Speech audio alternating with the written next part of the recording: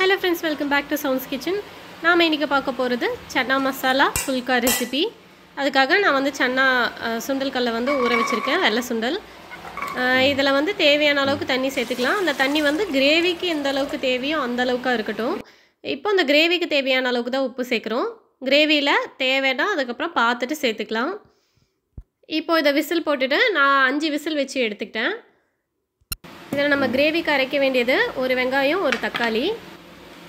First சப்பாத்திக்கு மாவு பிசைஞ்சு வச்சுக்கலாம். அது ஊறிட்டு இருக்கும் இல்லையா? அதனால் ஃபஸ்ட்டு சப்பாத்தி மாவு பிசைஞ்சுக்க போகிறேன் கொஞ்சம் மாவு ஊறிடுச்சுன்னா நல்லா சாஃப்டாக வந்துடும் இப்போ இதுக்கு தேவையான அளவுக்கு உப்பு சேர்த்துக்கலாம்.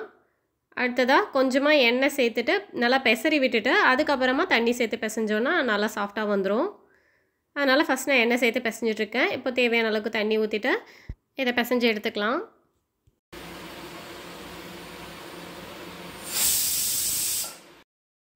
இப்போது மேல் சைடாக கொஞ்சமாக எண்ணெய் சேர்த்துட்டு அதை லைட்டாக பூசி விட்டுட்டு அதுக்கப்புறம் மூடி போட்டு க்ளோஸ் பண்ணி வச்சிடுறேன். இப்போ ஒரு அஞ்சு விசில் வந்துடுச்சு. இப்போ நான் அதை ஆஃப் பண்ணிக்க போகிறேன் இப்போ நம்ம அரைக்கிறதுக்காக ரஃப்பாக ஒரு வெங்காயத்தை வெட்டி எடுத்துக்க போகிறேன் அடுத்தது ஒரு தக்காளி. இது ரெண்டையும் சேர்த்து நம்ம அரைச்சிக்க போகிறோம் இதுதான் நமக்கு கிரேவி கொடுக்கும். நமக்கு நிறைய கிரேவி வேணும்னா ஒரு ஒரு வெங்காயத்தையும் ஒரு தக்காளியும் அதிகப்படுத்திக்கலாம். ஏன்னா எந்த அளவுக்கு வெங்காயம் போடுறோமோ அதே அளவுக்கு தான் தக்காளி சேர்க்கணும். சைஸ் பெருசாக இருந்தால் மட்டும் குறைச்சிக்கலாம். தக்காளி சைஸ் பெருசாக இருந்தால் மட்டும் புளிப்பு அதிகமாகாமல் இருக்க குறைச்சிக்கலாம். மற்றபடி ஈக்குவலாக தான் சேர்க்கணும். இப்போ ஒரு வெங்காயம் ஒரு தக்காளி நான் ஒரு மிக்ஸி ஜாரில் சேர்த்துருக்கேன். இப்போ இதை நான் அரைச்சிட்டு வந்துட போகிறேன்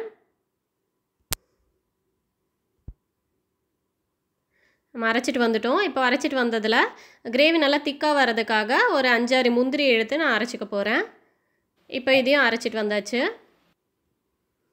இப்போ இந்த குக்கர் வந்து வெயிட் அடங்கட்டும். அதை ஒரு பக்கமாக வச்சுட்டு அதுக்குள்ளே வந்து நான் இந்த கடாயை வச்சுட்டேன். இப்போ இந்த கிரேவியில் அப்படியே போடுறதுக்காக வெங்காயம் கட் பண்ணிகிட்ருக்கேன் நம்ம கட் பண்ணி சேர்த்துக்கிட்டோம் அப்படின்னா டேஸ்ட் நல்லாயிருக்கும். ஆனால் போடாமலும் செய்யலாம். நமக்கு வெங்காயம் அரைச்சிருக்கோம். அதுவே போதும். வெங்காயம் பிடிக்காதுன்னா அப்படியே கூட விட்டுடலாம் இப்போது அது வாயில் சரியாக கடிப்படாமல் இருக்கிறதுக்காக சின்ன சின்ன பீஸாக வந்து கட் பண்ணிக்கிட்டேன். ஒரு பச்சை மிளகாயை கீறி எடுத்துக்கிட்டேன். இப்போ தேவையான அளவுக்கு எண்ணெய் சேர்த்துட்டு இதில் தாளிக்கிறதுக்கெலாம் எதுவும் சேர்க்கக்கூடாது. அதனால் நான் அப்படியே வெங்காயத்தை சேர்த்துட்டு ஒரு பச்சை மிளகாயை சேர்த்துட்டு ஒரு பிரிஞ்சி இலை எடுத்திருக்கேன். இதை வந்து நான் பிச்சு சேர்த்துக்கிறேன். இவ்வளோ போதும். இதுக்கு மேலே நான் எந்த செலவு ஐட்டமும் சேர்க்கல. காரணம் என்னென்னா நம்ம வந்து சென்னா மசாலா பவுடர் ஏற்கனவே அரைச்சி வச்சுருக்கோம் இல்லையா? அதை சேர்க்க போகிறோம் இப்போ ஜிஞ்சர் கார்லிக் பேஸ்ட்டோ ஒரு அரை ஸ்பூன் சேர்த்துருக்கேன். இப்போ இதையும் வதக்கிட்டு நம்ம நேற்று அரைச்சி வச்சோம் இல்லையா? சனா மசாலா பவுடர். அந்த வீடியோ யாரும் பார்க்கலன்னா அந்த வீடியோ பார்த்துட்டு வந்துடுங்க இதில் ரெண்டு டீஸ்பூன் சேர்க்க போகிறோம் இதையும் சேர்த்துட்டு லைட்டாக வதக்கிக்கலாம். இது எண்ணெயில் லேசாக வதங்கினதுமே நம்ம அரைச்சி வச்சுருக்கோம் இல்லையா? அந்த பேஸ்ட்டை வந்து இதோட சேர்த்துக்கலாம். வெங்காயம் தக்காளி முந்திரி போட்டு அரைச்சிருக்கோம் இல்லையா? அந்த பேஸ்ட்டை வந்து சேர்த்துக்கிறோம். இப்போ இதை லேசாக வதக்கிட்டு இப்போ ஒரு அரை ஸ்பூன் மிளகாத்தூள் சேர்த்துருக்கேன்.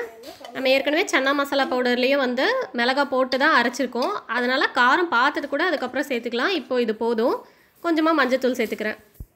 இது அடிப்பிடிக்கல. நம்ம வந்து ஜிஞ்சர் கார்லிக் பேஸ்ட் போட்டிருக்கிறதால அந்த மாதிரி இருக்குது இப்போ அது எல்லாத்தையும் எடுத்து விட்டுட்டு நல்லா மிக்ஸ் பண்ணி விட்டுட்டு தேவையான அளவுக்கு தண்ணி சேர்த்துக்கலாம். நான் வந்து ஜார் அலசின தண்ணியை தான் இப்போ சேர்த்துருக்கேன். இதுக்கு மேலே தண்ணி வேணும்னா பார்த்துட்டு சேர்த்திக்கலாம். ஏன்னா நம்ம ஏற்கனவே சுண்டல் வேக வச்ச தண்ணி இருக்குது அதையும் தண்ணியோட தான் சேர்க்க போகிறோம் அதுக்கு மேலேயும் தண்ணி பத்தில் கெட்டியாக இருக்குன்னா மட்டும் நம்ம எக்ஸ்ட்ரா தண்ணி சேர்த்துக்கலாம். இப்போ இது பச்சை வாசனை போகிற வரைக்கும் நல்லா வதங்கிட்டு இருக்கட்டும். நம்ம சுண்டல் வெந்துருச்சான்னு பார்க்கலாம். வெயிட் அடங்கிடுச்சு.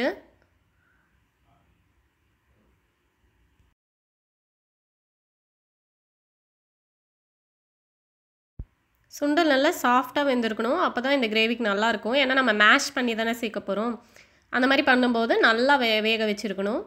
இப்போ ஒரு மேஷர் வச்சு ஒன்றும் பாதியமாக இருக்கிற மாதிரி நான் வந்து இதை மசிச்சு விட்டுக்க போகிறேன் ஃபுல்லாகவே நல்லா மசிச்சிட்டாலும் நல்லா இருக்காது. அதனால் கொஞ்சம் வாயில் கடிப்படுற மாதிரி இருக்கணும். ஸோ அந்த மாதிரி மசிச்சாச்சு. இப்போ இதை எடுத்து நம்ம கிரேவியில் ஊற்றிக்கலாம்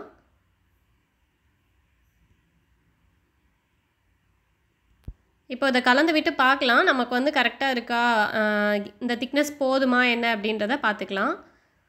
இப்போ இந்த தண்ணியிலே நம்ம உப்பும் சேர்த்துருக்கோம். அதனால் இந்த கிரேவிக்கு அந்த உப்பே போதுமா என்ன அப்படின்றத நம்ம டேஸ்ட்டு பார்த்துக்கலாம். டேஸ்ட் பார்த்துட்டு அதுக்கு மேலே உப்பு பத்தலைன்னா மட்டும் சேர்த்துக்கலாம். இப்போ இதை மூடி வச்சிடலாம். கிரேவிக்கு கடைசியாக சேர்க்கறதுக்காக கொத்தமல்லி கட் பண்ணிக்கிறேன். இல்லைன்னா கடைசியாக கசூரி மேத்தி கூட சேர்த்து இறக்கிக்கலாம். எது வேணால் பண்ணிக்கலாம். கொஞ்சமாக லெமன் எடுத்திருக்கேன். ஏன்னா நம்ம ஒரு தக்காளி தான் சேர்த்துருக்கோம். அதோட புளிப்பு கம்மியாக இருந்தால் தான் நல்லாயிருக்கும்.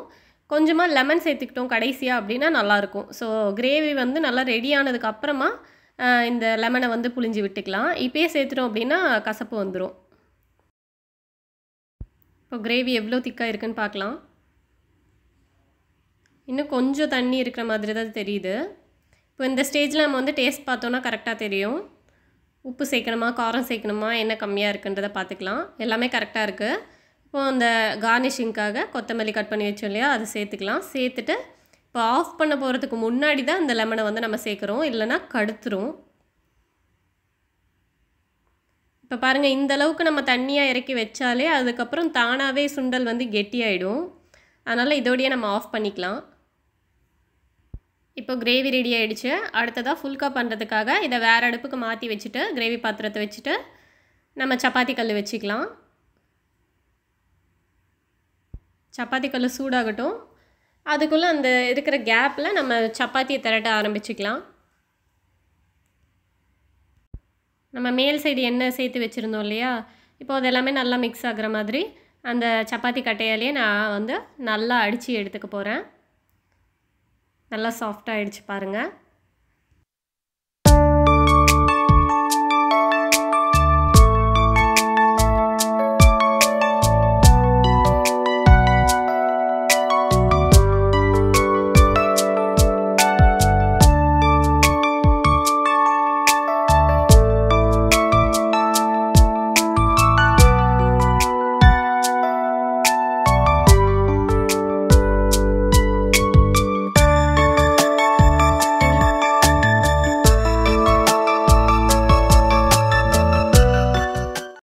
ஃபஸ்ட்டு ஒரு ஃபுல்கா செய்யும்போது கொஞ்சம் மொத்தமாக இருக்கிற மாதிரி நான் போட்டு பார்க்குறேன் இது எந்த அளவுக்கு உப்பி வருது அப்படின்றத பார்க்குறதுக்காக இந்த சப்பாத்தி கல்லை வந்து நான் சிம்லேயே தான் வச்சுருக்கேன் ஓரளவுக்கு. இப்போ வந்து அந்த சைடு ஃபுல்கா போடுறதுக்காக அதையும் நான் வந்து ரெடி பண்ணி வச்சுக்கிட்டேன். நான் மொத்தமாக தேய்ச்சது அந்தளவுக்கு உப்பி வரல. இப்போது இதில் நெய் தடவிக்கிறேன். இப்போ அடுத்தது திரட்டியிருக்கேன். இது எப்படி வருதுன்றதை பார்க்கலாம். இப்போ நான் வந்து எண்ணெய்லாம் சேர்க்கவே இல்லை. அப்படியே ட்ரையாக போட்டுட்டு அதுக்கப்புறம் லேசாக அதுவே உப்பி வர மாதிரி இருக்கிற ஸ்டேஜில் தான் நான் வந்து அந்த ஃபுல்கா ஸ்டாண்டில் போட்டிருக்கேன். அந்த ஃபுல்கா ஸ்டாண்ட் இருக்கிற ஸ்டவ்வையும் வந்து சிம்லே தான் வச்சுருக்கேன். இது லைட்டாக உப்பி வந்துருச்சு. இப்போ இதையும் எடுத்து வச்சுட்டு மேலே லைட்டாக நெய் அப்ளை பண்ணிவிட்டு வச்சிடலாம். இல்லைன்னா ரொம்ப டைட்டாக வரட்டி மாதிரி ஆகிடும் ஸோ ஒவ்வொரு தடவை போடும்போதும் போட்டு முடிச்ச உடனே இந்த மாதிரி பண்ணிக்கலாம். இப்போ அடுத்தது வந்து நான் நல்லா மெல்லிஸாக வந்து திரட்டி எடுத்திருக்கேன்.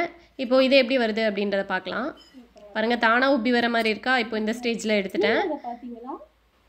ஆ, இது நல்லாவே உப்பி வருது. ஏந்திரி அஞ்சலி ஏந்திரி ஏந்திரி அஞ்சலி ஏந்திரி. இந்த ஃபுல்கா பரவாயில்ல. இந்த டைம் நல்லா வந்திருக்கு. ஸோ நம்ம மெல்லிஸாக திரட்டணும் அப்படின்னா நல்லா வந்திருக்கு. இதுக்கு மேலே நம்ம மெல்லிஸாவே போட்டு பார்க்கலாம். இப்போ இதையும் மேல் சைடு மட்டும் நம்ம நெய் போட்டு அப்ளை பண்ணி வச்சாச்சு. இப்போ இதில் பார்த்தீங்கன்னா தெரியும். அதுவாகவே லைட்டாக உப்பி வர மாதிரி இருந்தது இல்லையா? சப்பாத்தி கல்லுலையே. அந்த ஸ்டேஜில் வந்து நம்ம எடுத்துடலாம். இப்போ இது எந்த அளவுக்கு வருதுன்னு பார்க்கலாம். இதையும் நான் வந்து மெல்லிசாக தான் திரட்டி எடுத்திருக்கேன்.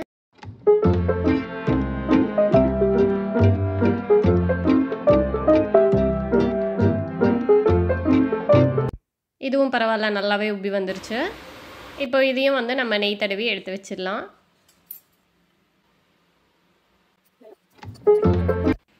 இதெல்லாம் வீட்டில் இருக்கும்போது கண்டிப்பாக நம்ம பிரேக்ஃபாஸ்ட்டுக்கு தோசையெல்லாம் கொடுத்தா சாப்பிட மாட்டாங்க. அதனால் காலையில் பிரேக்ஃபாஸ்ட்க்கும் நான் இதே தான் கொடுக்க போகிறேன் இப்போ பாருங்கள் கிரேவி நம்ம முன்னாடி பண்ணப்போ இருந்ததை விட இப்போ திக்காக இருக்குது பார்த்தீங்களா இறக்கறதுக்கு முன்னாடி விட.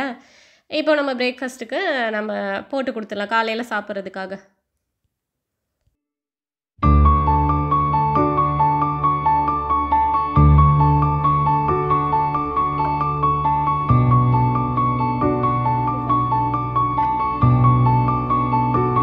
இப்போ நம்ம லஞ்ச் பாக்ஸ் பேக் பண்ண ஆரம்பிச்சிடலாம்.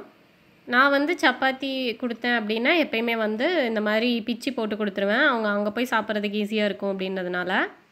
ஸ்கூலில் போயிட்டு அவங்க ஒரு கையில் அதை வந்து பிச்சு எடுத்துகிட்டு சாப்பிட்றதுக்கு ரொம்ப லேட் பண்ணிவிடுவாங்க அப்புறம் லஞ்ச் டைம் முடிஞ்சிடும் அப்படியே ரிட்டன் கொண்டு வந்துடுவாங்க அதனால தான் கிரேவி இவ்வளோ போகுதுன்னு நினைக்கிறேன். இன்றைக்கி ஒரு பாக்ஸ் வந்து காலியாக தான் வருது. ஏன்னா இதுவே பசங்களுக்கு கொஞ்சம் ஹெவியாக இருக்கும் இல்லையா? அதனால் நான் வந்து ஒரு பாக்ஸ் இன்றைக்கி காலியாக தான் கொடுக்குறேன்.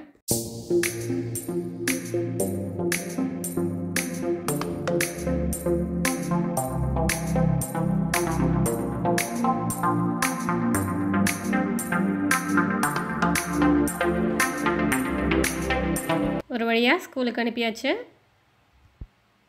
தர்ஷனுக்கு இன்னும் தூக்கம் கூட தெரியல. அண்ணனை கொண்டு போய் விட்டே தீர்வேன்னு கிளம்பி போயிருக்கான். நம்ம இதுக்கு மேலே நியூஸ் பேப்பர் படிச்சுட்டு காஃபி குடிக்கலாம். நாளைக்கு இன்னொரு vlogல உங்களை பார்க்குறேன். பாய்